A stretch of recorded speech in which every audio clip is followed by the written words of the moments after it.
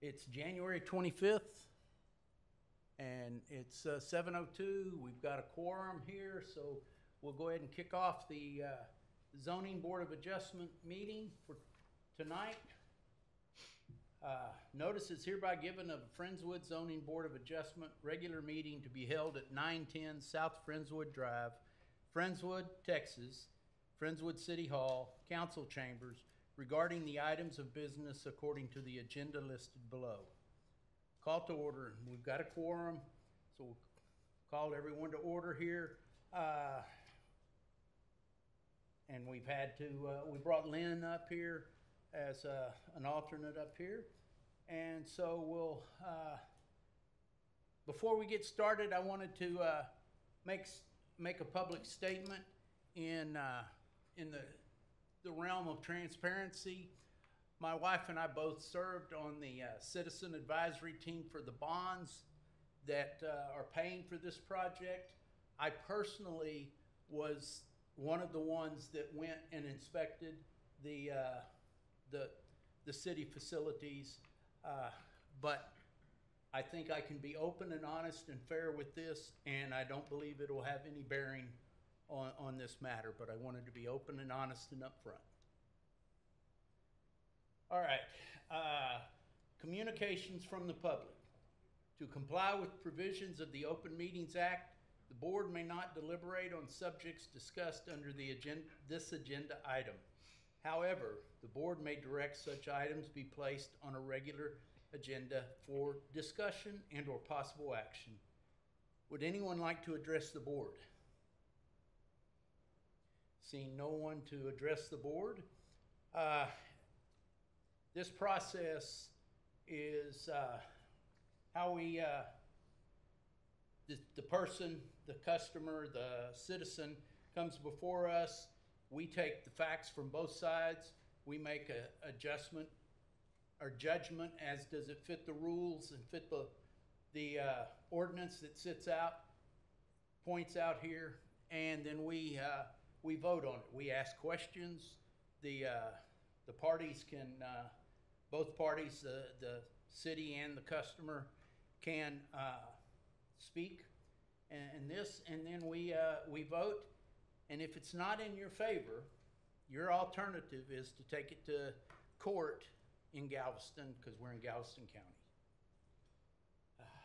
Okay. First, we will conduct a public hearing. After the city and petitioner present their cases, we will receive comments from the public. Anyone from the public may be recognized to give a statement either for or against the request. A city representative will offer a history of the original request and why it was denied. Then the petitioner or the petitioner's representatives will take the podium and tell us why they think we should approve their request. The public will be asked if they would like to give a statement for or against the request. At this point, the public input will be closed after they've finished. At this point, the public input will be closed, and only the board members will have the opportunity to ask questions, gather information, and to deliberate and vote on the application. By law, a supermajority is required to approve the application. That means you will need at least four of the five votes to approve this application. The only way to appeal the board's decision is to file a lawsuit in a district court, county court, or county court of law where the property is located. There is a short time deadline for this appeal. Optional, you may wish to consult a lawyer if you want to consider appealing our decision. Okay, at this time, uh, we'll do the uh, witness and taking the oath. This is a quasi, quasi judicial proceeding. The city keeps records, including audio and video records of testimony given. All persons who will be speaking before the board must be sworn in, and we will ask you to speak from the podium so that we can hear you clearly and so that your testimony can be recorded. We ask your questions, we ask you questions during our deliberation. We ask that you return to the podium for your answers for the same reason. If you intend to speak on the board tonight, please stand. Raise your right hand and for your oath. do you solemnly swear or affirm to tell the truth and the whole truth in your testimony before the board this evening? I do. All right, thank you. Okay, the public hearing uh, is now open. Uh, Received comments from uh, both oral and written regarding a request of, for a variance request to allow three apparatus bay doors to front a major thoroughfare, FM five twenty-eight or West Parkwood Avenue, in the Community Overlay District on the property located at twenty-six oh one West Parkwood Avenue, one point acre land, being a part of Abstract one eighty-four, page two of the Mary Sloan Survey, track eighteen, Galveston County, Friendswood, Texas. The hearing will include staff presentation. Uh, Aubrey will make that presentation. Yes, sir. Uh, so this is a city-owned property that faces FM 528. Um, the property is approximately 120 feet wide, and um, our community overlay district is um, an. ad- we have our base zoning, um, which includes like community shopping center, neighborhood commercial, um, and our commercial zoning districts. But we have an overlay called the community overlay district that applies to our major thoroughfares which include FM 2351, uh, FM 518, FM 528 from city limit to city limit, as well as Friendswood Parkway um, from city limit to city limit. So though the community overlay district typically has additional landscaping and screening requirements, um, we you know just encourage it's for aesthetic reasons mainly. Um, we just want to keep our thoroughfares looking nice. So um, one of the requirements is that, or restrictions, is that garage bay doors cannot face the right of ways um, on those major thoroughfares. So I think the intent was for gas stations and auto repair places um, and things like that. Um, we do have some new ones that have gone in that they don't face the thoroughfare. We make them or ask them to um, require them to position the buildings so that the bay doors are um, on the side of the building or such as that. Um, unfortunately, with these, um, the use of this building, the in and out of the fire trucks, there is a need for the bay doors to face the right of way. Um, and so that is the purpose of the request for tonight. Okay. Uh, Next,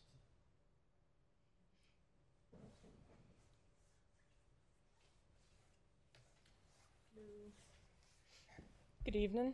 I'm Bria Whitmire, Projects Coordinator with the Engineering Department. And uh, we, as we started to look at this project, uh, as you understand, there's a fire station there now. We know we had a clean site, taking that down. The existing conditions are, are not being debated. With the new design, if we had, we still have a very limited frontage. We still have less than 120 feet in the front, including the culverts that have to be up front and the sloping. We're talking about 67 feet of driveway space. So in order to try to turn the building, there we would definitely have to acquire more property, which the bond funds did not account for. Um, there was also the idea of if we relocated the fire station to where we could meet this ordinance, but then we're talking about the response time, and that affects our ISO rating. To which point, with our current existing conditions, if we were to move that and it affect that, that goes back to resident community insurance rates. So past that, the last part where I understand the intention of this ordinance of, like Aubrey was saying, you don't want to see a lot of sweaty mechanics working on a, on a vehicle. These bay doors are going to be closed until the bell rings. And then that response time is when every second counts. And so, with that reason, uh, going through all the design considerations and looking at it as a whole, that's why the engineering department is, is asking for this variance. all right. Uh, Anyone else want to say anything? Stan, you good? To answer questions as they come up. Okay. Uh, Public comments for this? Anyone here to speak for it? Anyone here to speak against it? Okay, once all presentations and comments are complete, Uh, state the public hearing is now closed.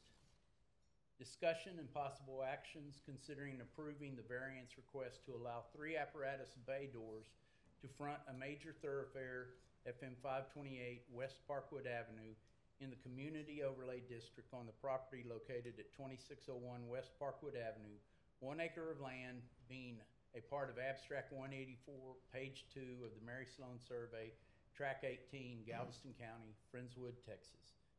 Okay, are there any comments or questions from the board? Gentlemen?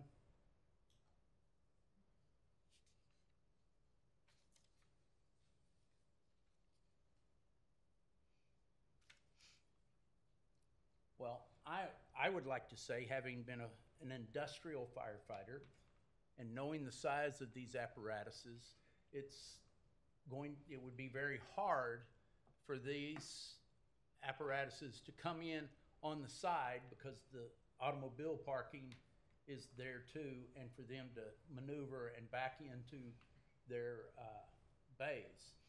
Uh, Knowing that, uh, question I have for the young lady, are these bays drive-through bays or are they just back in? Two of them are back in. Two of them are, are back in, and one of them is designed to where we can clear, uh, there's some additional parking in the back, but if those cars move, it's a pull through. And so that was, at least the option is there if needed for training events and whatnot. Okay, I know it is a congested area. Yes, sir. yes, sir. Okay. Anyone else have anything to say? Ask que- questions? Okay. Uh, now we have to, we have to go through the sheet, find the legal, do we fit the, everything before we can have a motion to here? So, we're gonna, we'll go through this step by step. The variance request is to allow three apparatus bay doors to front a major thoroughfare, FM five twenty-eight Parkwood Avenue, in the con- Community Overlay District, being a variance from Appendix C zoning ordinance, section seven point five point six, architectural elements. Upon giving notice and conducting a public hearing on this variance request in accordance with section 11A.2 point of the zoning ordinance, the Board of Adjustments adopts these specific findings as follows. The grant of the variance will not be contrary to the public interest. Y'all agree? What do y'all say on that discussion? I, I, I agree. I don't think that we would be agree. anything. There are special conditions peculiar to the property involved. And I think we both spoke to that. I know it's a narrow property and goes way back. Uh, Anybody have any objection to that? No objection. The literal, literal enforcement of the ordinance will result in unnecessary hardship for the property owner different from his neighbors or other similar properties. Now, I've got to ask, does this actually apply because we, there are no other fire stations out there? Right, you'll need to make an affirmative finding on all those things in order to Okay. move forward. So, the literal enforcement of the ordinance will result in unnecessary hardship for the property owner different from his neighbors and other properties. Moving the, the big apparatuses, the fire trucks, around to back in and go around the cars, I think that is a hardship. The last thing we want is for one of them to hit the building, and that's the last thing they want too. So I would say yes. Any, anyone else? No objection. No objection, I agree. Okay. Hardships, the financial cost of compliance is greater than fifty percent of the appraised value of the structure as so, as shown on the most recent certified appraisal roll. Uh, Do we even But have do a we even structure that's on a s- recent certified appraisal roll? Do- that's, I don't believe we do. That's an older structure there. Oh. Did we, Uh, did we address those with the, don't with the number three though already? I, I think we did. I did. think we did. I think Uh, that. that- and I, I will ask Karen. Okay. If, if you don't think there's a hardship on the, If you found a hardship, you don't have to. okay, So you don't have to go all through all the detailed hardships. Okay, we don't Since- have to? Yeah, so you can just get back down to Okay, the last two. all right. The grant of the variance is consistent with the spirit of the ordinance. Agree. Agree?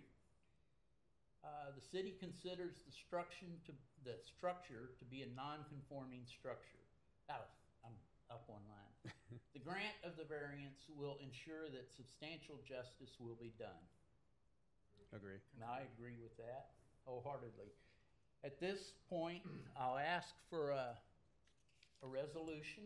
Would anybody like to propose a resolution?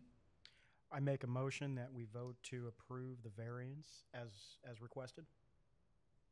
Okay, I second. second. We have a motion and a second. Everybody for it, raise your hand. Okay, seeing as all are again, or all are for, no abstains or no against, we, uh, have granted the variance. No conditions, and it's done. This one was pretty easy. Okay, so let's get this one here. Uh, So we had a motion to hear, final that all necessary legal prerequisites have been met, and the application for variance at twenty-six oh one West Parkwood Avenue should be approved. We have no conditions, no amendments, and we have a second. Okay. Important, if you make the motion to include the legal prerequisites as above, you do not have the vote, to vote separately on each precondition, such as whether the variance or exception is in conformity with the spirit of the law and Just- other legal Chairman? requirements. You can just go on to the approval of the minutes since y'all already Okay. voted and that item's done. Okay, that item's done, so we'll move on. Yes. Uh, minutes for the regular meeting held Tuesday, December twenty-first, twenty twenty-one. Are there any corrections to the minutes of the December twenty-first meeting? If there are no corrections, is there a motion for approval? A motion to approve the minutes from December twenty-first? Do I hear a second? Second. Okay, all those in favor approving the amendments? All right, please say aye and Aye. declare the motion approved. Uh, Staff, council, or liaison reports, anyone got anything to say? All right, I believe we are done. Stan, uh, I know y'all have worked with them on this. Uh, Is it gonna be real nice for y'all? Chairman, we don't need to have conversations okay. right now. All right, okay. Yeah, I th- think, I forgot to adjourn. Do I hear a motion to adjourn? Motion to adjourn. Se- Okay, all in favor? Say aye. Aye. Aye, okay, we are adjourned.